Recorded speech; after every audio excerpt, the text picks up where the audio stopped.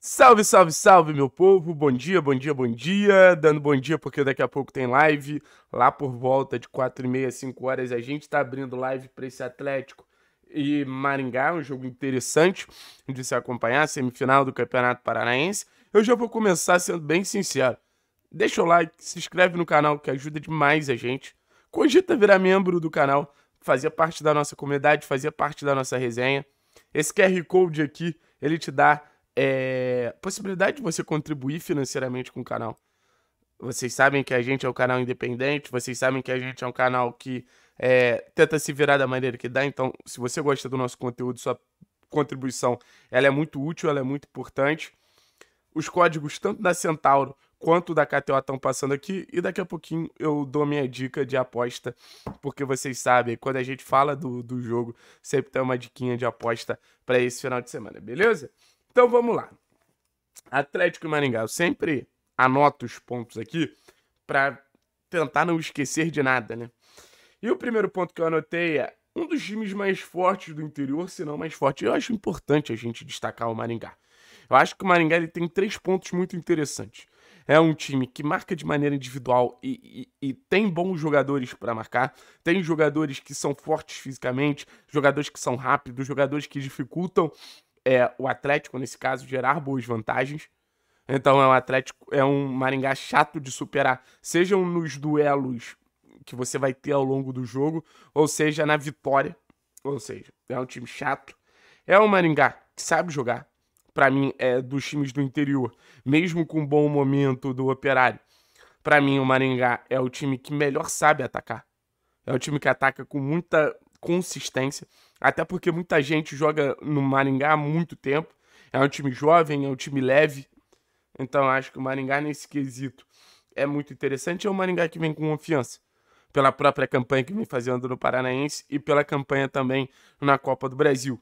Que o Maringá ainda sobrevive na Copa do Brasil. Então, são esses pontos que me fazem ficar alertas em relação ao Maringá.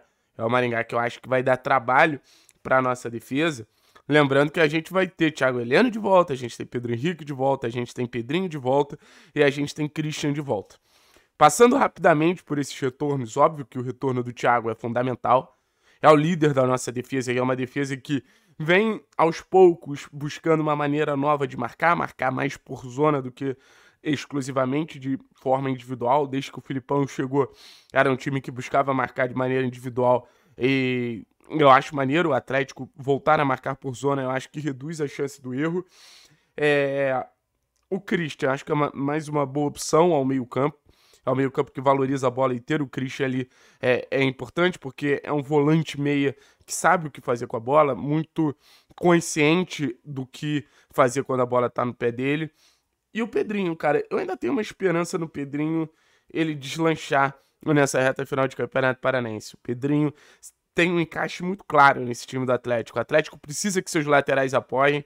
E o Pedrinho, não por questão de apoiar melhor ou pior, mas ele apoia mais do que o caso do, do, do, Fernando. Então, assim, se o Pedrinho começar a jogar bem, se o Pedrinho começar a nos entregar a partir das características dele, é um Pedrinho que eu acho que tem tudo para assumir uma vaga de titularidade, porque o Atlético ele tá doido para que o Pedrinho renda. A realidade é essa.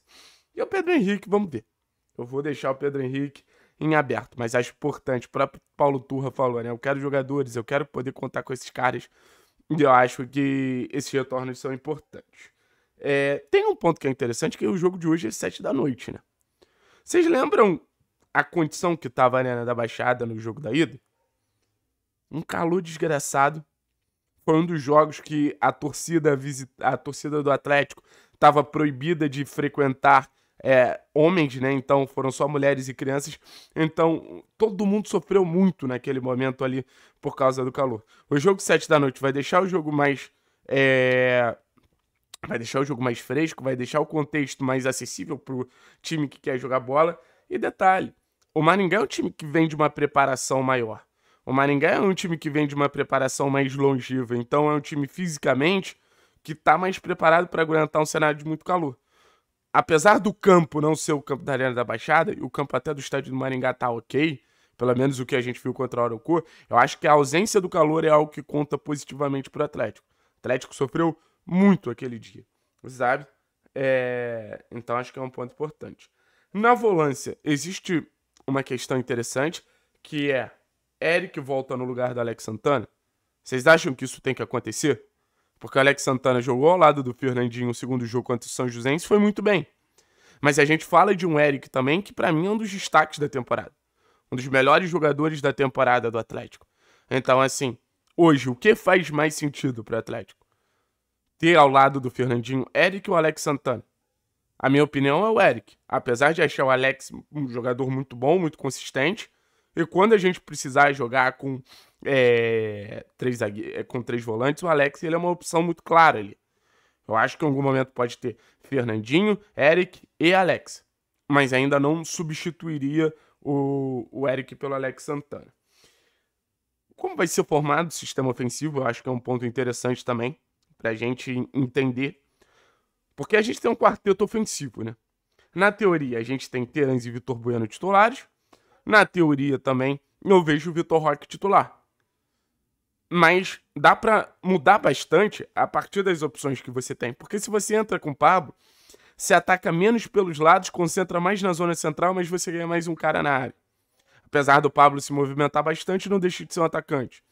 Se você bota o Canóbio, não é um jogo de tanta aceleração, um jogo mais posicional, e você ganha um Canóbio com possibilidade de trazer a bola para dentro para finalizar. O Coelho já é o cara que acelera mais. Então, o que, que vocês acham que deve ser feito a partir desse quarteto ofensivo? Por mim, entraria com Vitor Bueno, com Vitor Roque, com Terãs e com Coelho. Sabe? Apesar de achar que o Coelho ele é mais capaz de mudar cenários ao longo do jogo. Deixaria Canobi e Pablo para um segundo tempo. Reforços que naturalmente entrariam. Aí teria a companhia do Alex, aí teria a companhia do Christian, aí teria a companhia de outros jogadores ali que também podem mudar cenários de jogos.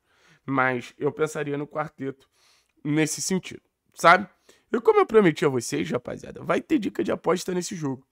Eu quero botar dinheiro no bolso de vocês para vocês virarem membro desse canal. Para vocês não reclamarem na hora de eu, quando eu pedir. Não, pô, vira membro do canal, ajuda a gente, dá essa moral. Então, assim, qual foi o jogo que eu separei agora? Chelsea e Everton. Eu tô tentando buscar para vocês aqui odds ali em torno de uns 50, uns 60, para vocês não falarem que eu tô dando dicas muito simples. O Chelsea é um time organizado? Não. É um time que vive um bom momento? Não. Mas joga em casa. O Everton é um dos piores times da Inglaterra. Não acho que vai ser um jogo de muitos gols, como eu já sugeri de manhã, Leipzig e Bochum. Mas eu acho que vai ser um jogo para a vitória do Chelsea. Chelsea tá buscando uma recuperação até pensando em Liga dos Campeões na temporada, né? Chegar pro confronto contra o Real Madrid da melhor maneira possível. E você pode falar qualquer coisa do Chelsea, menos que é um time que não tem talento, então acho bem interessante essa aposta, sabe? Então não perca a oportunidade. 14 e meia, famoso 2 e meia, jogo pela Liga Inglesa, Chelsea e Everton. Tem mais alguns pontos interessantes pra gente falar aqui sobre o jogo, tá, rapaziada? Vou deixar até a odd aí na tela para vocês verem. É... Já falamos sobre o quarteto ofensivo. Motivação de um Canobi convocado, né? Eu falei até que eu não começaria o jogo com o Canobi, mas eu acho interessante essas convocações constantes do Canobi, né? Um Canobi fazendo parte de uma de uma eh, caminhada novamente do Uruguai pensando numa classificação para a Copa do Mundo de 2026 e você ter o Canobi como uma peça constantemente convocada, eu acho que faz muito sentido. O Canobi é um jogador de boa qualidade, vive um bom momento na temporada, já viveu um momento melhor, mas não é em tom de crítica. Natural que aquele ápice que ele tenha jogado, ele deu uma queda, ele deu uma assentada e a gente torce para que o Canobi vá muito bem na seleção uruguaia, mas que vá muito bem no Atlético, continue justificando essas convocações, participando de gols, ajudando, pressionando, diminuindo espaço, sendo cara da transição. O Canobi, cada vez mais eu tenho certeza que é um jogador de qualidades mais discretas do que os outros, né? É um cara que faz uma transição muito boa, um cara que pressiona muito bem, não necessariamente é o cara da assistência do gol, mas para um time é tão importante quanto. E para terminar, Vitor Bueno e Terãs em um jogo que promete ser muito difícil se desvencilhar dessa marcação individual do, do Maringá. Eu acho que esses caras são os dois caras que hoje conseguem destrancar portas a favor do Atlético, seja com uma finalização de média a longa distância, seja com uma assistência, seja, enfim, da maneira que for possível ali, mas eu acho o Vitor e Terãs jogadores muito capazes nesse sentido, ainda mais jogando juntos. A gente vem batendo muito na tecla que Vitor e Terãs eles vêm se potencializando muito juntos, né? Então, assim, acho que é a grande notícia da temporada saber que esses dois eles se entendem tão bem. Eles podem contribuir tanto um para o outro e os dois para o Atlético. Jogo difícil, jogo chato, semifinal de campeonato, pressão toda nas costas do Atlético, um Atlético querendo ainda crescer, querendo evoluir, pensando na disputa do Campeonato Brasileiro, Copa do Brasil e Copa Libertadores da América. E aquilo, para jogar bem contra River Plate, Racing, sei lá quem vem pela frente, precisa também jogar bem contra o Maringá. Valeu, rapaziada. Tamo junto, é nóis.